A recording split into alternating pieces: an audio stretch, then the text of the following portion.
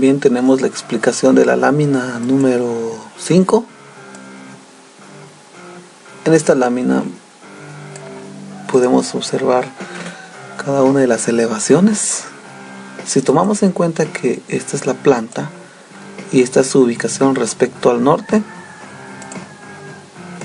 tendríamos como fachada norte, en este punto, tendríamos a esta fachada el acceso principal.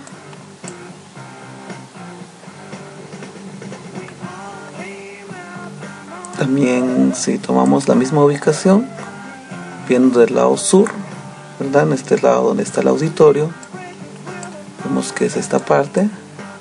Como podemos ver es una parte mucho más baja. Es una parte hundida en esta parte porque esta parte es casi subterránea, se podría decir. Tenemos la elevación este, sería de este lado. Podemos ver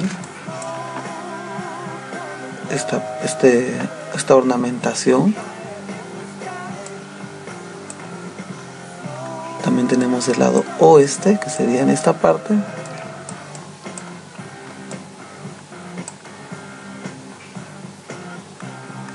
Y bien, esta es la presentación de la lámina número 5.